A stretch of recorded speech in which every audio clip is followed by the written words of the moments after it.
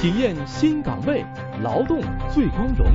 主播走基层，掌握新我要体验的新岗位就是这艘船的大副。关注。劳动最光荣。五一期间，中国新闻主播走进劳动一线，挑战高空作业、远洋船员、飞机机务等特殊工作，为您带来系列报道。主播体验新岗位。今天呢，我们的新闻主播，我的同事刘洋登上了目前中国最大、世界第二大的集装箱船舶——中海环球轮，它的新岗位是实习大副。跟随镜头一起来感受一下远洋船员的特殊工作。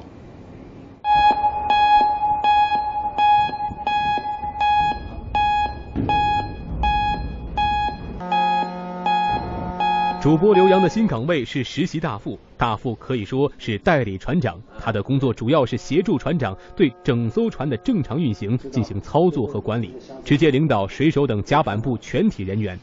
他所在的船舶是中国远洋海运集团旗下的中海环球轮，它可是目前中国最大、世界第二大的集装箱船舶，长四百米，宽近六十米，船体大小超过四个标准足球场。能够装载一点九一万个标准集装箱。中海环球继承了当今世界主要的先进航海技术，是世界最先进的集装箱船舶之一，被誉为航运业的 A 三八零。现在我们走的这条路呢，是登船的必经之路。看到我身后这个长长的梯子，相当于在我们生活当中爬六七层楼高。这个船有那么大，在它身边爬行的过程当中，感觉这就像在长城边上一面巨大的城墙。这个时候，我想到所谓的大国重器，在这种庞然大物身边，感觉到我们是如此渺小。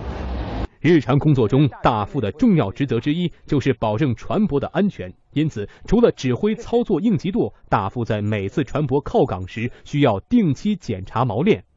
挑战开始。可以看到，就通过我这个第一视角可以看到，它宽都跟我的脚一样宽，所以可以把整个脚踩在这个里边，是吧？感觉此时此刻。这距离好像不止七八米吧，好像。嗯，因为它是这种十字交扣的，所以我每爬一下的时候，都要转移自己的这个身体的角度。啊，我已经到这个锚扣的这个位置了，来看一下，已经到这个顶端了。我现在手指的这个位置，就是它。这个插销扣进去的地方，刘大夫，OK 了。检查情况如何？我看它已经是完整连接在一块儿，完整连接在一块，三侧都看过了，三侧都看过了。哎，下来横销没问题，横销没有问题。对，它都插在一块儿，我可以非常确切的看到它。我把身子探下去可以看到它，没有问题。好的，OK，非常好。好，你可以可以上来了。好，我爬的还比较慢呢。平时你们爬应该很快就已经上来了吧？我觉得。哎呀，啊，刘大夫，现在你的第二个任务来了，在这一背上的集装箱，你要检查底锁、底锁、扭锁，然后这背上还有冷箱，这冷箱也要进行检查，把它的温度记录下来，检查它是否有报警。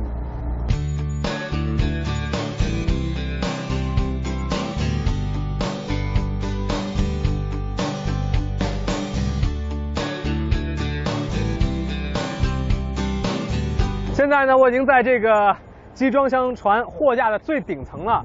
从这个最底下，我们逐一检查到上面，可能有二十多层楼高。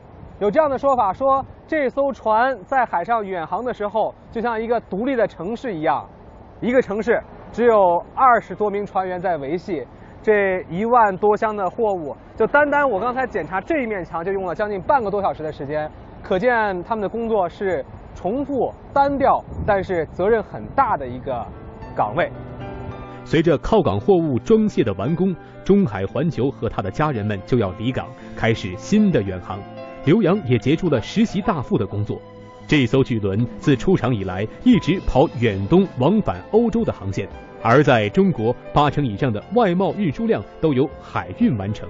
像中海环球这样大型集装箱船，在中国“一带一路”建设与世界的经贸往来中，将发挥越来越重要的作用。向船员们致敬。